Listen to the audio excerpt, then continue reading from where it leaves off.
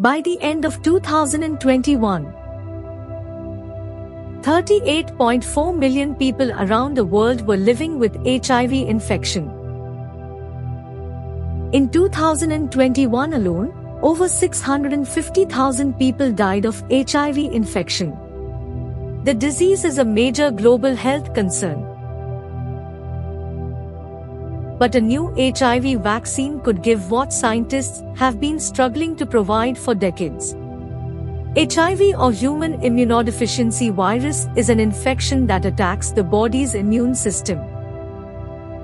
HIV wreaks havoc on white blood cells named CD4 cells.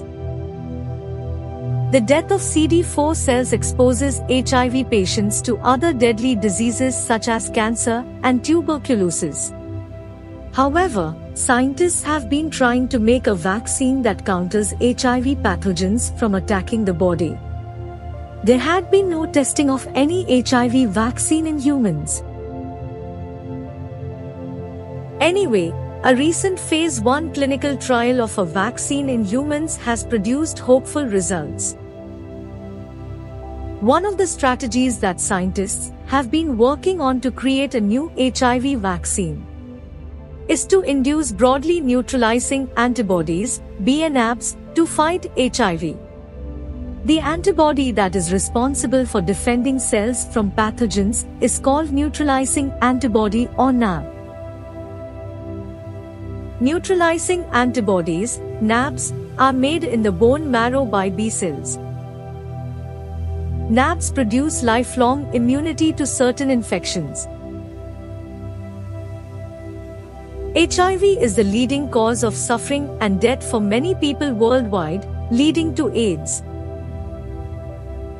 Finally, getting closer to an HIV vaccine could prevent millions of deaths in the future and help millions more live happy and healthy lives.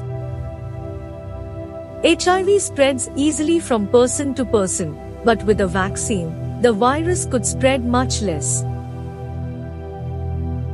With phase 1 trials showing promising results, more trials and testing may follow before the vaccine is approved for mass use. In 97% of the recipients, the HIV vaccine produced a positive BNAb response. It has raised hopes that efficacy against various subtypes of HIV will continue to be strong. Scientists have been working for 40 years to develop a vaccine to combat HIV. The results suggest that it won't be long before their efforts bear fruit.